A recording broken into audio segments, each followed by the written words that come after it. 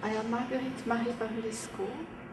I'm professor at the University of Waseda in Japan, and now I'm teaching in Venice International University in the island of San Servolo.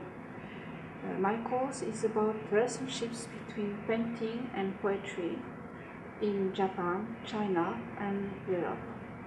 It's a very broad subject, but uh, it's also uh, perhaps one of the most interesting way to compare Chinese, Japanese, and Europe, European uh, painting.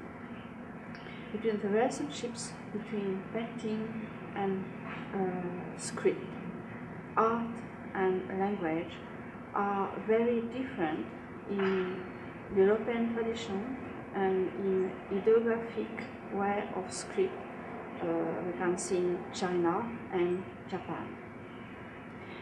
In China and Japan, usually uh, poems are written inside the painting.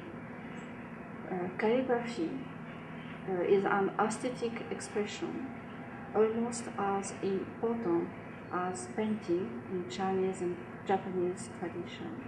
And the existence of calligraphy uh, permit to um, have relationships of continuation between painting and poetry.